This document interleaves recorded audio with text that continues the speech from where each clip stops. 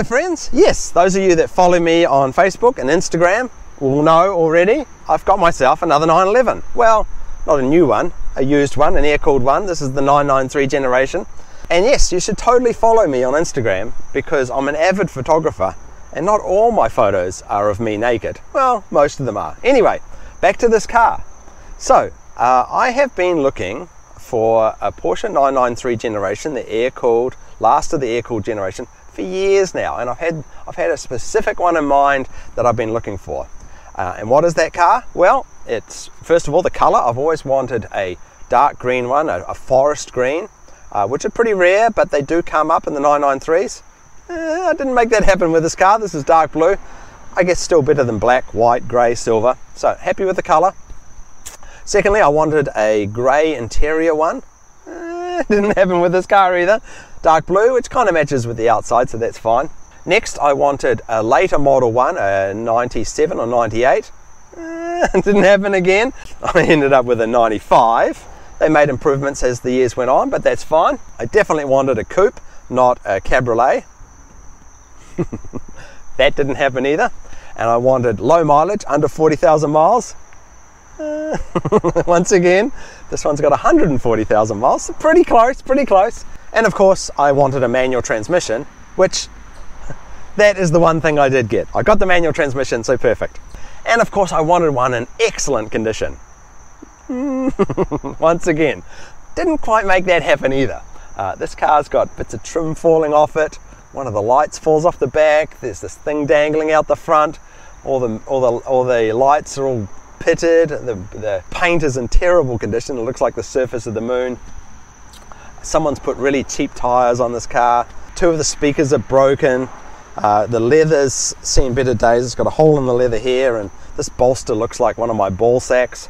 And the roof, well, I'm pretty sure it's not meant to do this. so, yes, she's not in perfect condition. But the good news about this car is the drivetrain is excellent. This car has had all its servicing, and the gearbox, transmission, suspension, and engine are all as tight as a rotisserie chicken. Yes, it is perfect from that point of view, and that's all I really care about. The rest of it is all eh, whatever. Uh, and I was originally had a budget for my 993 of between sixty to eighty thousand dollars to get just the right one. Well, this one came along and it was in the 20s, so I can spend that money getting this car back up to a reasonable state. Although I'm not sure that I'm going to bother because what I now realize is that I was looking for the wrong thing. If I'd got the perfect 993, I think I'd be scared to drive it because it would be perfect. And I'd be worried about things breaking. I'd be worried about the dogs wrecking the leather. I'd be worried about it not staying perfect. By getting a beat to shit 993, I am enjoying this car much more than I ever expected. I haven't felt this way about a car since I was a teenager. That's right, when I got my first car, I was so excited about it that I'd go out to the garage and look at it at night. I would wake up early in the morning to go for a drive well, that's the way I'm feeling about this car. I had no idea. I mean, I, I knew a little bit. I've driven these cars, a lot of them on my channel, and each time I drive an air-cooled 911, I get this fuzzy feeling inside, like, oh my God, this is the real deal. This is this this is a thrill. But now that I've got one, um, oh my God, I absolutely every every excuse I have to drive this car, I'm out in it. And because it's already got a million miles on it, because it's already very tatty, it doesn't matter. I'm going to drive this every day.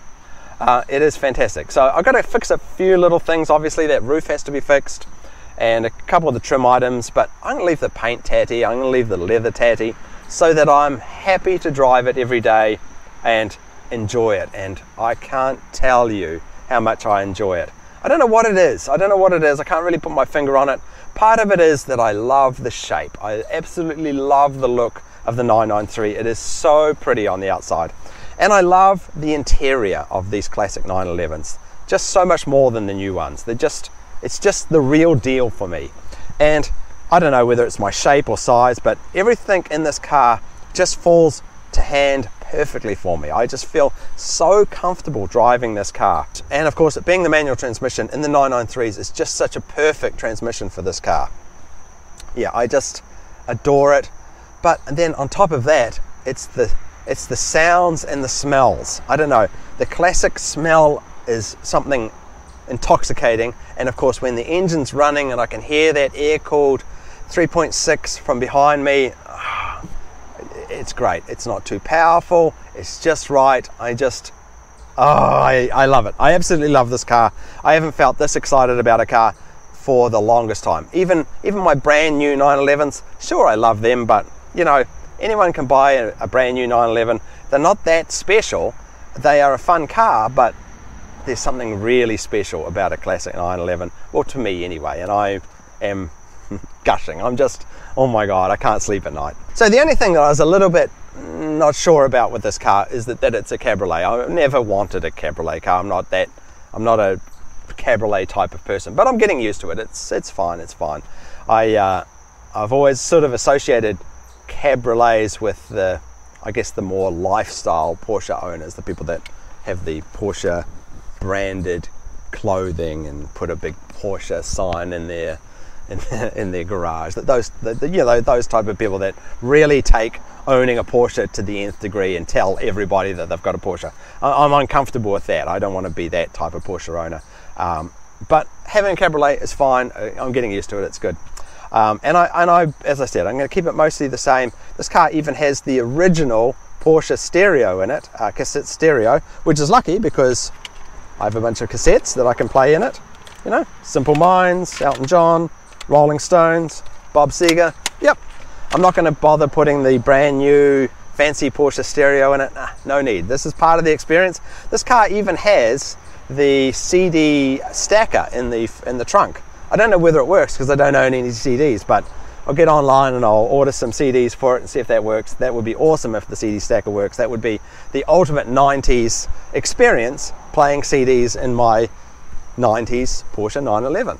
Anyway, some of you are probably wondering, what about your other classic Porsche, Nick? The 928, that beautiful green 928 that we saw months ago and has never reappeared. Well, I still own that car and is finally nearly ready. Um, yeah, Dirk at Darien Detail has been grooming that car to the nth degree. I've had a repaint on the front, I've had the, the leather redone. Uh, you know, the, the whole point of that car was that the, the previous owner had spent a lot of money on the electronics and the mechanics, about $35,000, getting all of the running gear and the electronics perfect, but then sold it to me and it was still looking very tatty.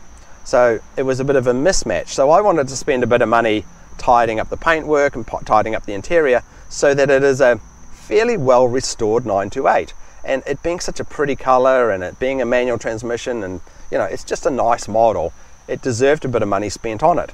And of course I've only got a two car garage and like Jon Snow always says that's right I have three cars now I have to get rid of one. So even though I've just spent all this money and love on the 928 it actually has to go because like a three-year-old child my attention is suddenly elsewhere. That's right i'm suddenly totally in love with this 993 and so well i i'd love to own and drive the 928 a bit. I, I can't afford to have three cars and i certainly don't want two old porsches in my life. So yeah i'm gonna i'm gonna get it back do some videos on it and then sell it.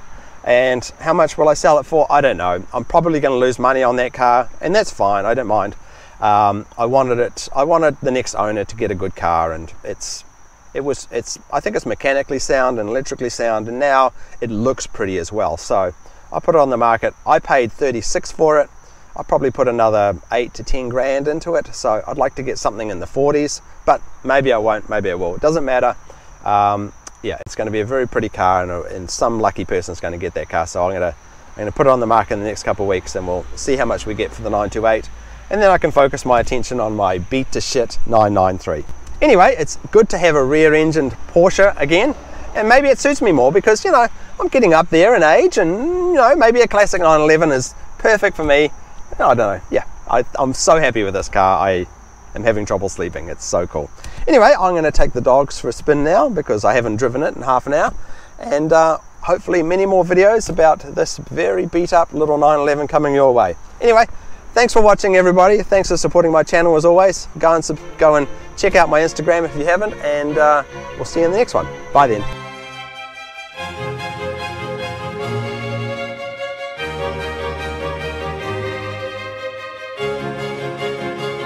And if you're wondering where to acquire the ridiculous t-shirts that I wear in my videos, they're all here in my store, all your favourites, uh, including offensive stamps and my rapid dry towels as well. Yes, Nick Murray t-shirts, being a little inappropriate since 2016.